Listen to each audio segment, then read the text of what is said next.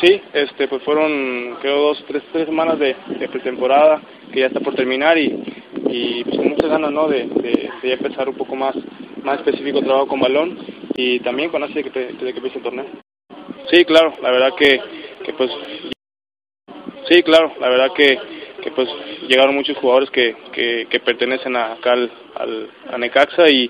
y pues con, con, con sed de revancha. De, sí pienso que que en todos lados no hay competencia, este creo que hace al jugador más, más sí pienso que que en todos lados no hay competencia, este creo que hace al jugador más más fuerte y, y es un reto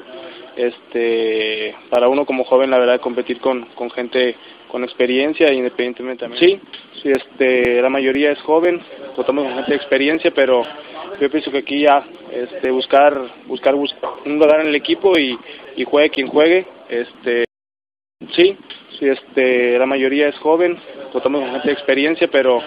yo pienso que aquí ya este buscar buscar un lugar en el equipo y, y juegue quien juegue este sacar adelante el equipo que queremos ascenderlo en un año ¿Qué se espera de Necaxa para el torneo?